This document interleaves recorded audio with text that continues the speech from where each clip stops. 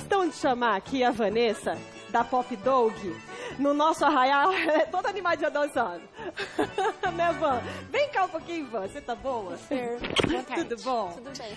Eu, Obrigada. imagina, eu fiz questão de chamar você, Van, porque eu sei que você tem uma história muito linda de empreendedorismo, de como você começou com esses carrinhos. Você sabe que eu sou fã, né? Das suas pipocas, dos churros, de tudo.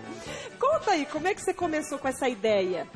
Então, Fer, fiquei um tempo em casa, desempregada, daí comecei a ajudar meu esposo. Que o meu sogro era pipoqueiro. Daí o meu, sogro, meu esposo assumiu quando meu sogro faleceu. E eu em casa, sem fazer nada, né? Precisei pôr a mão na massa e acabei tendo que ajudar todos os dias, né? A organizar os eventos, organizar a agenda, né? Daí E hoje vocês estão em vários pontos de Londrina. A gente consegue, ali nas suas análises, vocês ficam direto com churros também, não é verdade? Nós atendemos nas Souza Naves, esquina com a Goiás, de segunda a sexta, com pipoca e churros. E nos finais de semana, à noite, né, a gente atende os eventos de Londrina e região. E agenda lotada, né? Lotada, Fer.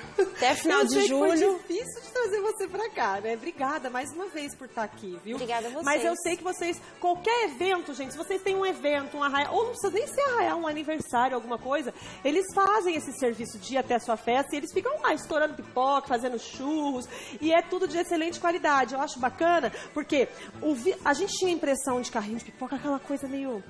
meio. Ai, meio sujo, pô. Perdão da palavra, né? Porque sempre a gente olha assim, né? Meio uma coisa é, muito antiga, muito velho. E vocês vieram com esse layout, é tudo muito limpinho, a gente consegue ver, né?